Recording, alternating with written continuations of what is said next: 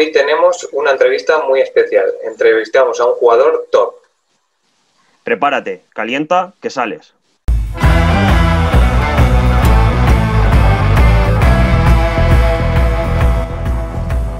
Bueno, pues hola a todos. Eh, como hemos dicho, bienvenidos a, nuestro canal, a un nuevo vídeo. Hoy tenemos eh, una entrevista muy especial y bueno, nuestro invitado pasó por las filas de Valencia, Tenerife, Getafe y Levante.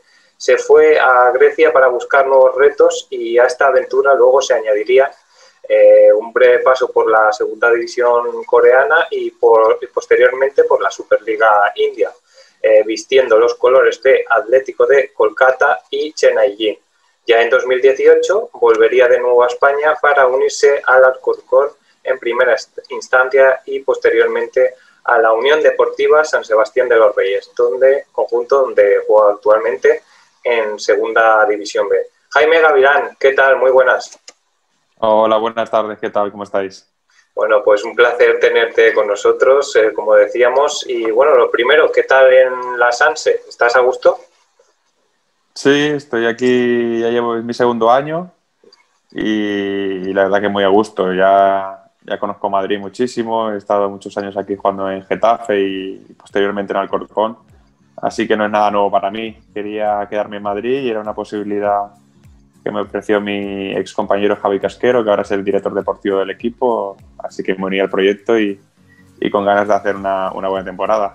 Y eso queríamos preguntarte, que por qué decides fichar por, por la Sanse, nos dices que es por, por, Casquero un poco, ¿no?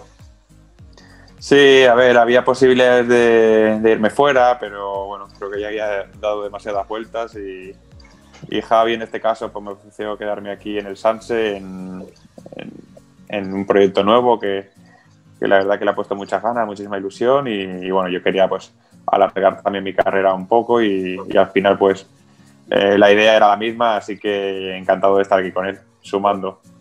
Muy bien, luego te preguntaremos por eso último que has dicho, el tema de, de alargar un poco la, las carreras. Y bueno, antes de nada, ahora que estás en, en una nueva categoría, en la segunda B, eh, nos gustaría saber qué opinas de, ese nuevo formato que, se ha implantado entre la temporada pasada y la que viene con esos playoffs, un poco rara, ¿no? Sí, al final todo lo condiciona este, este virus. Al final, pues lo que, lo que buscan es que cuanto menos desplazamientos haya de comunidad mejor. Nosotros, pues gracias a Dios, aquí en Madrid hay prácticamente ocho equipos, entonces es casi la totalidad de, la liga. Y, bueno, también tenemos dos viajes a Baleares, pero como ya te digo, es moverse lo mínimo, eh, correr el mínimo riesgo y, y sobre todo que, que, se pueda jugar, ¿no? que es lo importante. Bueno, eh, Jaime, hemos repasado un poco, ha repasado Andreu en, tu, en la introducción los equipos por los que has pasado mm. y a raíz de ello queremos preguntarte, ¿dónde piensas que alcanzaste tu plenitud como, como futbolista? Bueno, yo creo que, que sobre todo en Getafe, al final es donde he pasado mis mejores años como, como jugador. Eh, creo que mi primer año en Getafe es muy bueno y posteriormente voy a Valencia donde tengo una lesión muy importante que no, que no me deja pues alcanzar ese nivel que, que podía dar. Eh, al final vuelvo otra vez a Getafe donde creo que eh, juego siete temporadas a, a un buen nivel y donde me encuentro muy importante con los diferentes entrenadores y las diferentes plantillas que, que han habido. Y también queríamos preguntarte, ¿de qué equipo guardas mejor recuerdo? Eh, has dicho que Getafe tal vez, porque puede ser que allí es donde más estu eh, años estuvieras y donde mejor rendimiento obtuviste, ¿no? Sí, a ver, eh, nunca hay que olvidar de dónde vienes y dónde me he formado tanto, tanto jugador como persona. Con 10 años empecé en la cantera del Valencia y, y prácticamente fueron 11 años seguidos donde coincidí con muchos compañeros y muchos jugadores y, y, a día de hoy tengo grandes amigos, por lo tanto esa etapa es imborrable, soy valencianista y, bueno, sí que es verdad que el Getafe pues, me dio la oportunidad de, de, poder jugar en primera división, de poder hacerme un hueco en, la élite y, a partir de ahí pues poder demostrar que bueno, que, que, tenía esa calidad ¿no? y, y ese talento para, para unirme a un grupo de jugadores que creo que han hecho cosas muy importantes en el club azulón. Sí, eh, precisamente has hablado de, tu club formativo, de, del Valencia. Eh, sabemos que bueno, estamos repasando tu carrera, hubieron ahí varias cesiones, también las lesiones no te, no te permitieron eh, estar más tiempo con el eh, conjunto Che, pero bueno, parecía que no, no acababa de, salirte bien la cosa por ahí en Valencia. Tal vez no, no acababas de convencer, no, no tuviste tampoco la, la, oportunidad. Cuéntanos que recuerdas un poco más de, esa etapa de, Valencia. Mm, bueno, pues eh, yo vuelvo a Valencia después de una gran temporada en Getafe. Eh, y bueno, la temporada iba fenomenal, juego partidos de, importantes de Champions, en Liga soy titular en, bastantes partidos y ahí pues viene una, una lesión muy importante que me rompo el cruzado de la pierna derecha. Y bueno, ya sabéis todo este tipo de cosas, son ocho meses hasta que vuelvo, recupero la confianza y vuelvo a un equipo ya rodado donde termino al final pues jugando de los últimos 12, un, 8 partidos entre sustituciones y demás. Y bueno, ahí pues logro, intento pues ya adaptarme con una pretemporada creo que bastante buena a las órdenes de, de Quique Sánchez Flores, donde se confecciona un equipo, creo que la verdad, manteniendo la base del año pasado bastante bueno. Y bueno, eh, los resultados, la verdad que no son los ideales, aún así creo que es una marcha precipitada y llega Kuman. Con, la llegada de Kuman, la verdad que todo a partir de ahí ya es, es, borrón y cuenta nueva. Él decide desde el primer momento no contar conmigo, ni conmigo, ni con un grupo amplio de jugadores y es ahí cuando decido marcharme al Getafe. Así que yo creo que es una lesión importante donde me marca mucho y sobre todo la llegada de Kuman tampoco me, me ayuda. Eso te, precisamente te íbamos a preguntar, esa llegada de Ronald Kuman que también lo condiciona todo un poco. Eh, cuéntanos en lo, poco que, estuviste, el nuevo entrenador del Barça, eh, ¿cómo, ¿cómo es en la distancia corta? Poca. Eh, distancia corta tuvo poca conmigo. Creo que conmigo y con, y con muchos compañeros, pero, pero bueno, eh, él al final viene a un equipo eh, que estaba en un momento complicado y sobre todo con las ideas claras de, de, bueno, de cargarse lo que era un poquito la columna vertebral del equipo y, y aires nuevos. Al final la decisión es suya y es respetable. Eh, perdona Jesús, eh, a raíz de, esto que has comentado, eh, me surgía el, planteamiento, el planteamiento de esto de romper un poco con el modelo que había. No sé si, casi estamos seguros que sigues al Valencia. Es un poco lo que está pasando ahora mismo en el conjunto Che, en la situación actual. no con un entrenador, pero sí con un dirigente que, bueno, que parece que, que, cuando algo funciona se lo, se lo carga las primeras de cambio. No sé qué piensas de, esta circunstancia. Bueno, realmente la circunstancia actual del Valencia es, una pena. Para mí, personalmente, creo que sintiendo, sintiéndolo como un valencianista más, ver al equipo en esta situación pues a, nadie le gusta. No ha habido fichajes, eh, fichar a un entrenador con un proyecto creo que ambicioso y, y, la verdad que al final no se le devuelve la confianza que él da al equipo. Pero por otro lado, pues bueno, mm, es lo que hay, hay que adaptarse a, la nueva situación y dar la oportunidad a gente joven, a gente que a lo mejor estaba en un segundo plano y tiene que dar un paso al frente. Y bueno, realmente el último partido contra, contra el Madrid pues se vieron cosas positivas, se sacaron muy buenas conclusiones y, al final hay años malos que se sacan mejores cosas de, de años tan positivos, ¿no? Bueno, hemos hablado, Jaime, de tu época en España. Queremos ahora preguntarte por eh, tu experiencia en el extranjero. ¿Qué te llevó a probar suerte en las ligas, por ejemplo, con como son la coreana y la india? ¿Son muy diferentes, diferentes entre ellas? ¿Y qué te quedas con lo que viviste en cada una de ellas? Mm, sí, estamos hablando, como tú dices, eh, ligas súper diferentes. La liga india, pues al final son franquicias, se hacen equipos a base de, pues bueno, eh, como, como parches diría yo, ¿no? Fichan a muchos jugadores con talento, pero realmente el nivel es, es muchísimo más bajo y, y bueno, eh, es una liga muy exótica, vives experiencias únicas que, creo que se lo recomiendo a todo el mundo y, y bueno, fue una experiencia muy bonita que, tuve la suerte de, también de poder ser campeón en una de ellas y la liga coreana estamos hablando de un país súper exótico, súper moderno, con, con, una cultura eh, súper eh, espectacular en todos los aspectos. La vida allí es, es una pasada. Además, eh, personalmente me gusta muchísimo la comida de allí. Y hablamos de una liga muy competitiva, muy fuerte, muy física, donde creo que es la mejor de Asia, incluso me atrevería a decir por delante de, la japonesa y la china. Y bueno, tuve la oportunidad de, poder ir allí y hice también grandes amigos y fue una experiencia muy, muy, muy, muy diferente a todo lo que había vivido anteriormente. Y tuviste que aprender los idiomas, supongo que el idioma de, de la India y el coreano, ¿cómo lo manejabas? En la India poco. Eh, tuve la suerte de coincidir con muchos españoles en el equipo y cuerpo técnico quizás también, así que con, los demás en inglés.